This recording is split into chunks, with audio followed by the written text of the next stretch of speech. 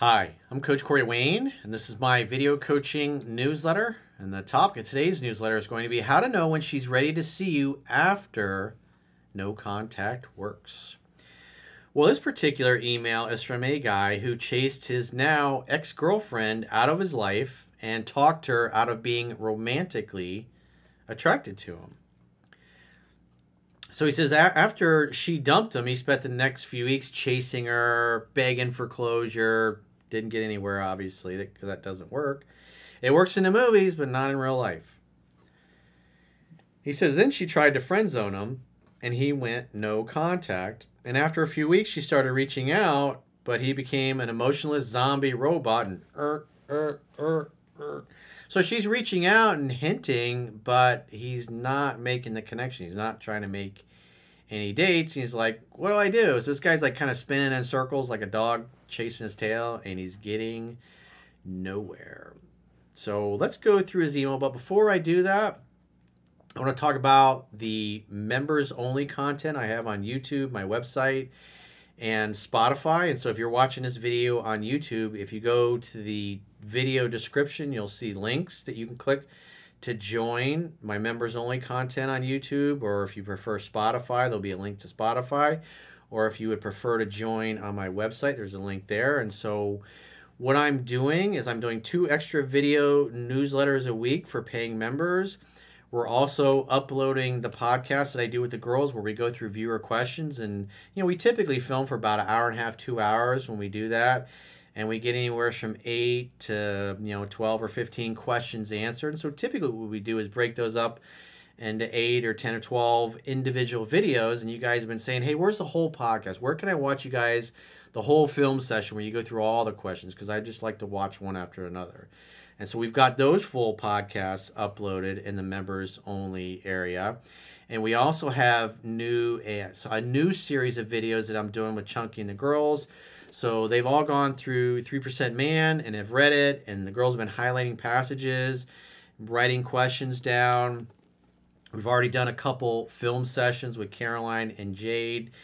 And we typically film for about an hour and a half, maybe two hours. And just in the two film sessions we've done, we're still only on page 25. So when all said and done with with the Caroline and the Jade versions uh, of it, we're going to end up probably with somewhere like 25, 30 episodes.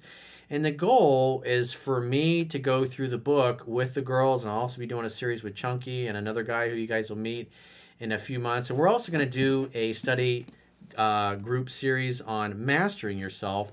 And so the idea is we're just going to pick apart the book. You know, anything the girls read and you're like, I don't agree with that. Why did you tell guys to do this? They should do this instead maybe a little bit trolling will be involved. They'll be challenging me on things, but it'll be a good, fun discussion where we can really take apart the concepts, the principles, the philosophy that's in my book.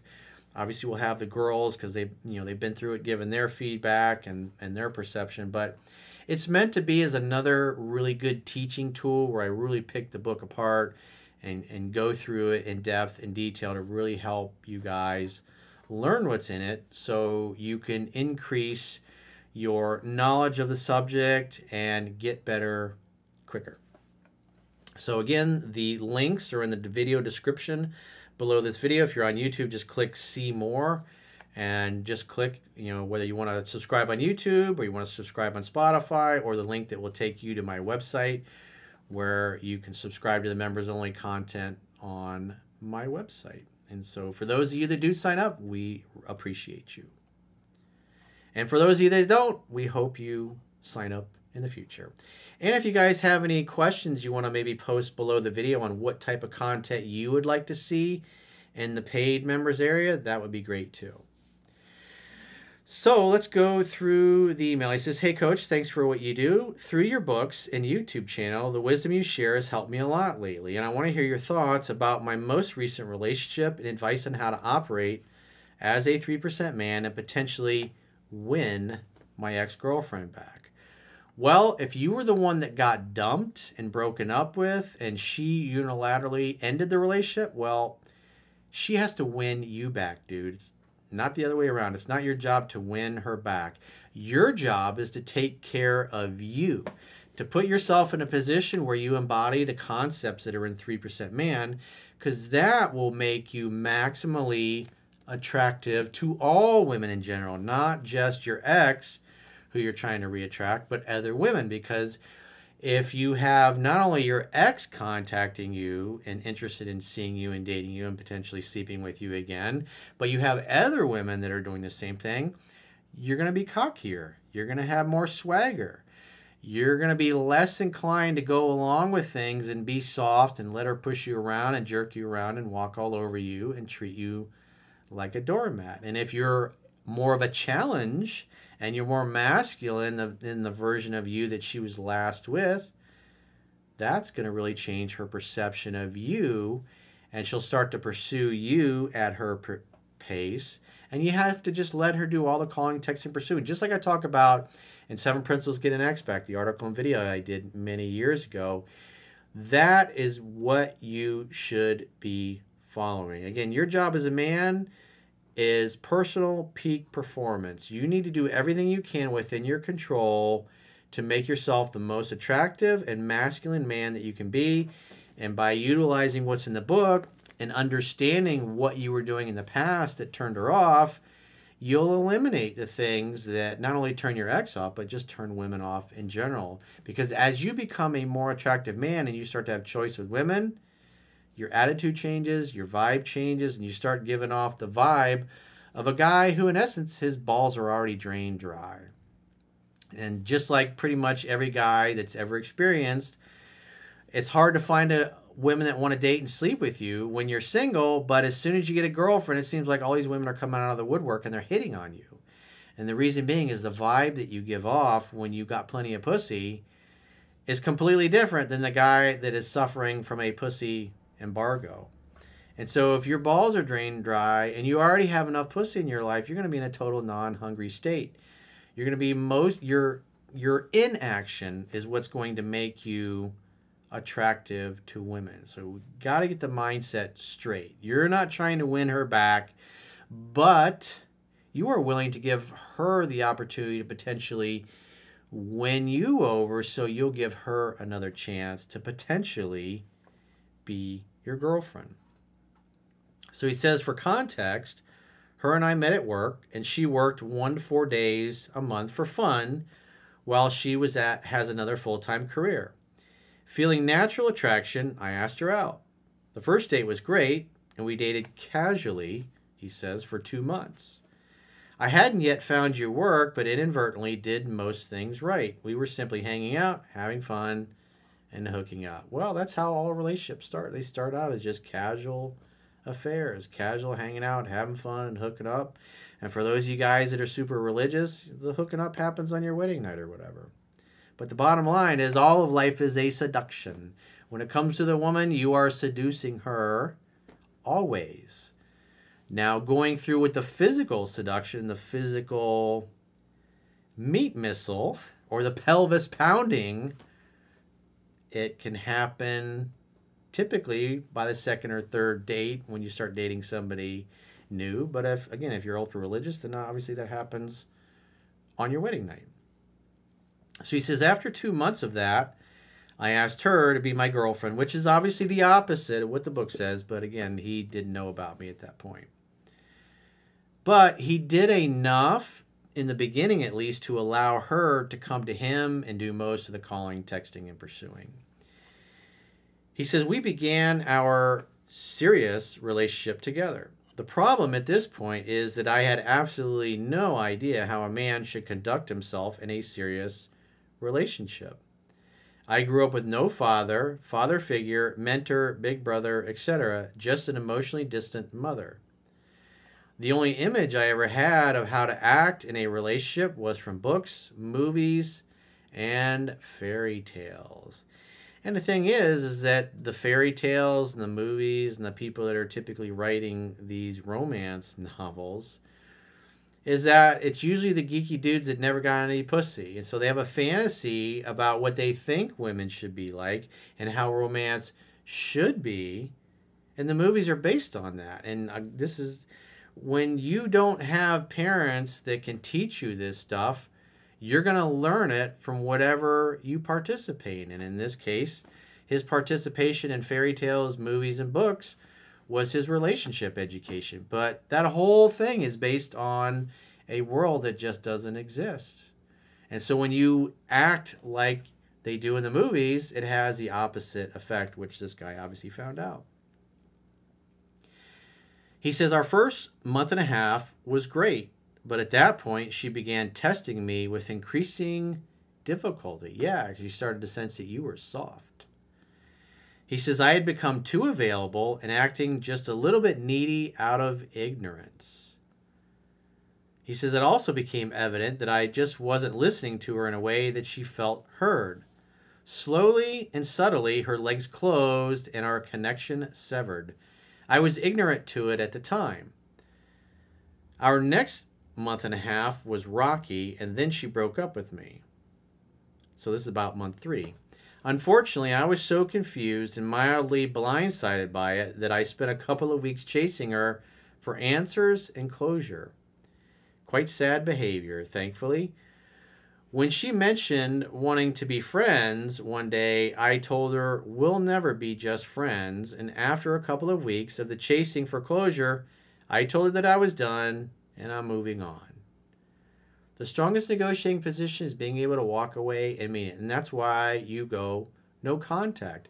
Because you've tried it your way. You've tried chasing, you've tried pleading, you've tried begging, and it gets nowhere. All it does is reconfirm to her that she made the right decision by dumping you because you're constantly acting unworthy.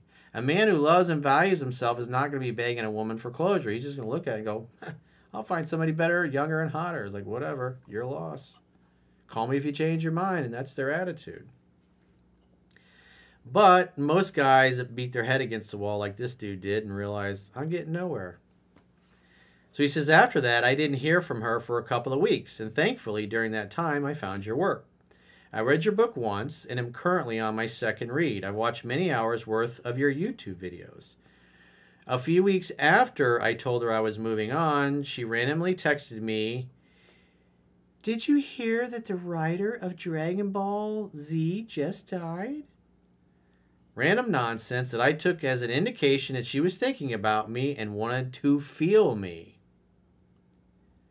I waited a day and then replied, texting three or four times in a fun and teasing manner before the conversation died. You should be following what's in Seven Principles to get an Ex back says. You're not trying to create rapport. You're not trying to crack jokes. You're not trying to be a comedian. You're not trying to be a dancing monkey or a performing seal. Your job is just simply to create an opportunity for sex to happen, to hang out, to have fun while you're hanging out, and to hook up when you're hanging out when the signs are there that she's ready to be touched, ready to be kissed, and ultimately seduced, which are all detailed in the book.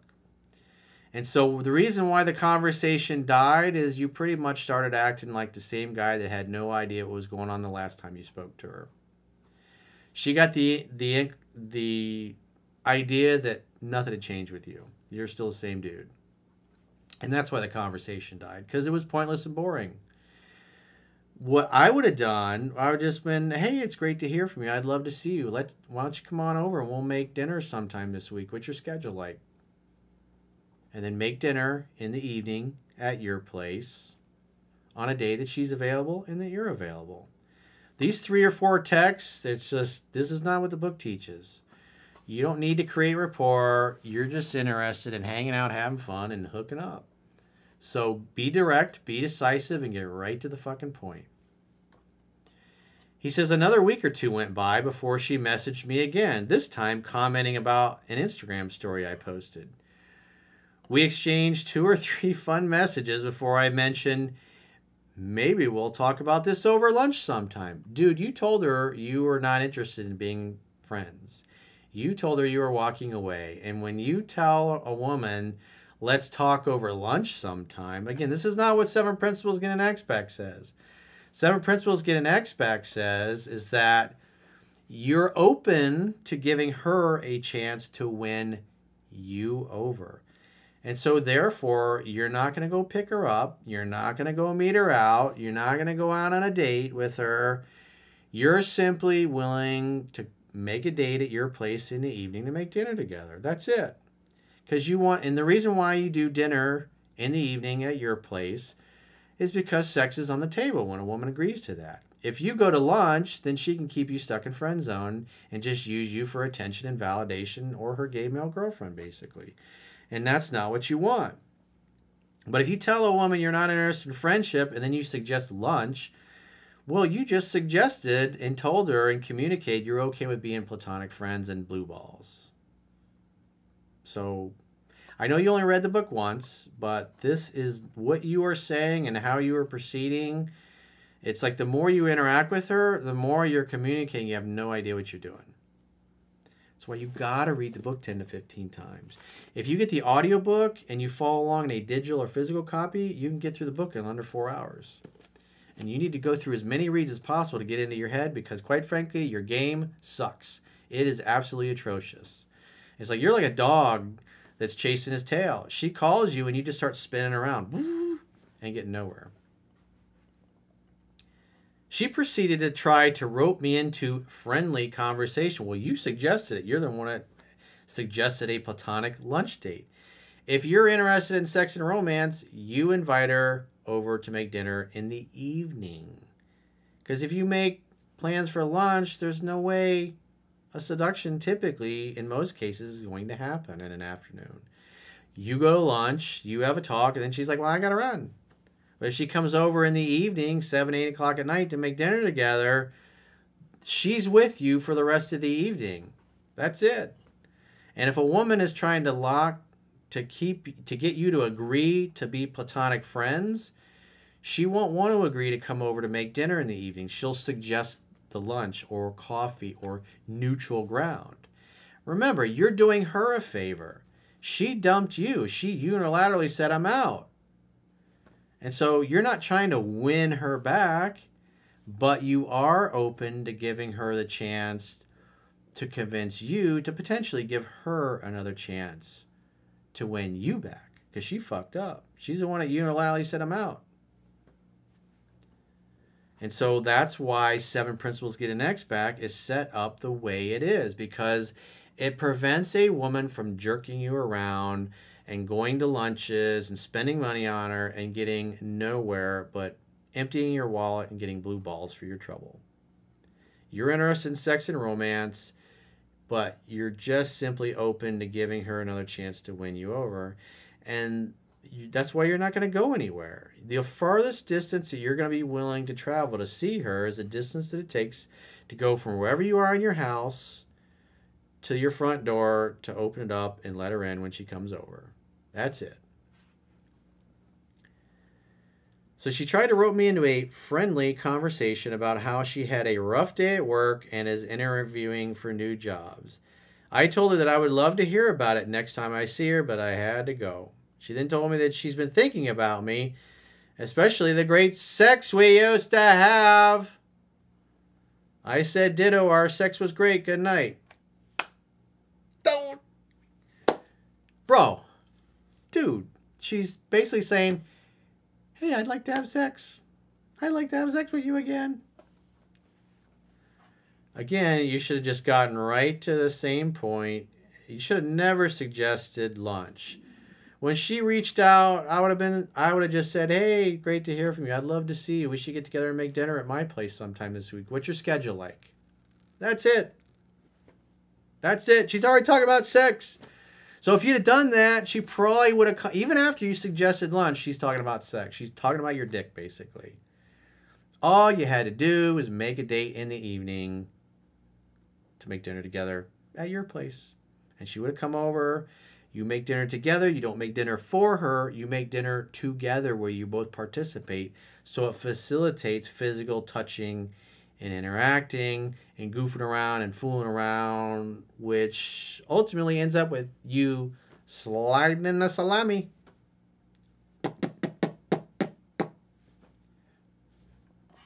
It's been a couple of days since that message. She hasn't replied, but I'm not stressed about it. My plan is to give her another week of space, and then whether or not she's reached out to me to try to set up a definite date for next Saturday. What do you think? I would wait to hear from her. And when she does, make a fucking definite date. That means definite day, definite time, definite place to get together. No maybe dates. Again, follow what's in Seven Principles Get an Ex back. That article's been around for probably 10 years. And I think it's got millions of views at this point. And it is the best, most effective strategy to get the leverage back and get the power back. I mean, again, this girl's already talking about sex and how great it was. She wants to get fucked.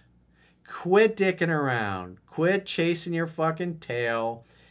When she reaches out next time, invite her over, just like I said, and then get off the phone. Stop sending these bullshit texts. Don't be sending any memes.